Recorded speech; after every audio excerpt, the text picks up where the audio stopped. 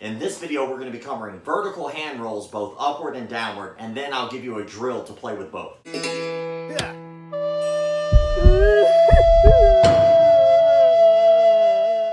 So for this one, it doesn't matter if you're using a shorter pair or a longer pair, it's going to be the same. So I'm holding it in the positive, I'm holding it high. If you need to know what that terminology means, please click on the link in the description below so that way you can learn the terminology. My free hand again is out of the way, my hand is straight, I'm making a fist, and my knuckles are horizontal. The reason this is called a vertical hand roll is because the nunchuck itself is going up and down, not my hand.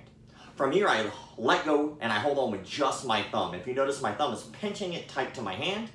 I toss it over the back side of my hand, and now my fingers are free to move however they want. I take my thumb, I point it straight down towards the floor, and I grab the opposite stick, finishing the hand roll. So in full time, it looks like this. Now, if you're doing this with a longer pair, nothing has really changed. Everything is exactly the same, holding on with the directions I gave you before. Toss it over the hand, turn your thumb down and grab. At full speed, it'll look very similar. Nothing has really changed. Now, we're gonna go ahead and take that and we're gonna modify it a little bit just for fun. Our hand is here before with our knuckles horizontal. What I want you to do now is I want you to make your knuckles vertical. So now our knuckles are up and down. We let go of the opposite stick so it's kind of hanging freely. And we're gonna take our hand and we're gonna kick it out to the side. So if you look at it from straight forward, if my fingers are pointing forward, I kick my hand out so that way the chuck has clearance so it doesn't hit me in the arm when I do the next hand roll. We're here, I let go like I did before, just holding on with my thumb, and as it goes into the air, I let go completely and I allow it to fall on the backside of my hand. From here, now I'm in the negative. Now that the nunchuck is upside down, I take my thumb and I move it to the opposite side of the stick like I'm trying to touch my top knuckle on my pointer finger. The momentum of that previous movement that I did before will allow it to rock, but if I'm already just here, all I need to do is kick my wrist so I get a little swing in the nunchuck and allow it to go over the front of my knuckles, and now I'm back to the positive grip. So one more time, we're here, hold on to it with just your thumb, kick it over the back side of your hand, now you're in the negative grip, move that thumb over out of the way, and now flip it up across the front of your knuckles. You can take this and make a drill out of it.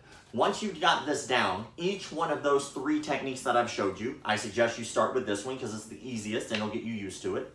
Then you move to this one. Then you take it and you just move to the negative one. You practice that over and over again. Put it back in your hand, do the negative one. Put it back in your hand, do the negative one. Once you have all those down 10 out of 10 times, now you can do a drill with it. It's going to be a little different with the longer ones, but not much. I'm going to take my take the, the nunchuck, the Pro Chuck, hold on to the wand, the stick that I have in a positive grip, and I'm gonna let it go back of my hand, front of my hand, back of my hand, front of my hand. You can do the same thing with a longer chain or rope. The only problem is sometimes you might hit yourself, so you might have to move your arm just a little bit more. So you'll go back of the hand, front of the hand, back of the hand, front of the hand. Nothing has really changed, but with this, I really don't have to move my arm that much because I don't have to worry about it hitting me. And of course, safety first. Make sure you, before you do any of this stuff, make sure you have plenty of clearance and room like that. Safety is always first. Always make sure you're having a good time with this. Again, this isn't self-defense. This is just for fun and hand-eye coordination. Once you've done this on the right hand, that's right. You gotta get used to doing it on the left hand, all right? So enjoy, have fun.